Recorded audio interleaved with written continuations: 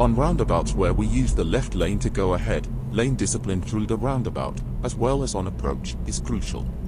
This is more difficult on smaller, narrower roundabouts because, usually, the steering required needs to be done in a much shorter distance than on larger ones.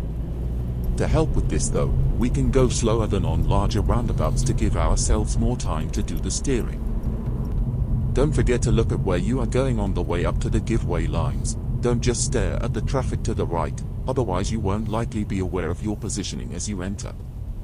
We must keep to our lane through the roundabout to avoid potential collisions and so others know where we intend to go and just simply more examples focusing on keeping to the left lane through the roundabout, having used the left of 2 on approach, particularly at smaller, narrower roundabouts. Pay attention to the number of lanes on approach, there's two, so again, even though it's empty we can't shortcut it, as that would demonstrate bad lane discipline. If there was only a single lane on approach, then we don't have to worry about keeping left as much, we could then take the shorter route instead.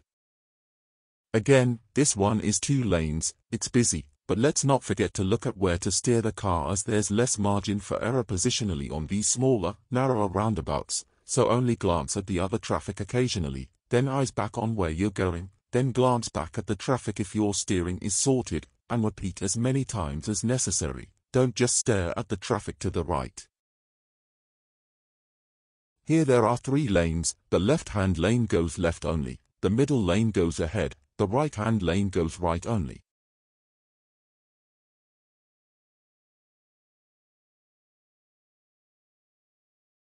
As we pass the first exit, we lose the left turn-only lane, with the white car on our left, so we should then aim for the left lane of the two remaining, our one going ahead, and a grey car on our right, turning right.